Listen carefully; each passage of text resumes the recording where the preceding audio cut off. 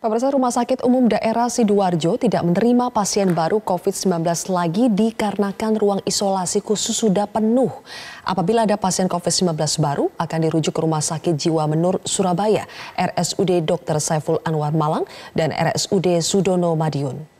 Sebanyak 161 ruang isolasi di RSUD Sidoarjo yang digunakan untuk merawat pasien COVID-19 kondisinya saat ini sudah penuh.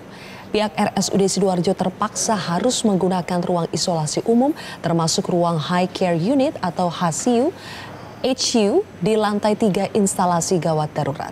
Namun 40 ruang HCU di IGD yang digunakan untuk merawat pasien COVID-19 semuanya juga sudah penuh terisi.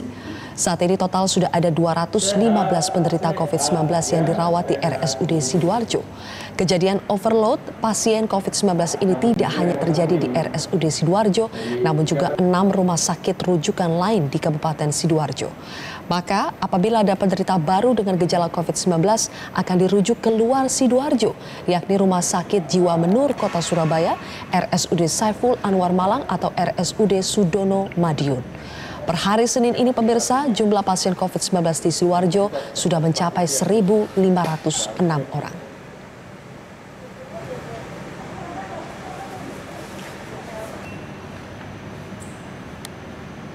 Kalau memang 161 bed isolasi ya, sudah penuh.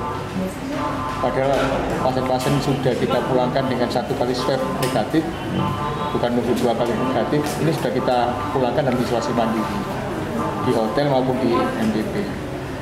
Kebetulan di IGD kita punya HCU lantai 3. Nah ini kita kan siapkan 40 bed di sana, sekarang ini penuh ruang isolasi sementara.